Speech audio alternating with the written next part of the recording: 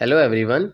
In today's video, we will see how to find someone's location by phone number with the help of an iPhone. So let's get into it. First of all, let's navigate to the App Store and in the search bar type find my device and make a search. Scroll down to find the app. Here it is.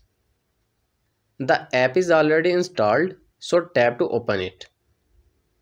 Once the app opens up, from the left bottom go to the people section and here you can see all the shared location list and you can find them on the map as well.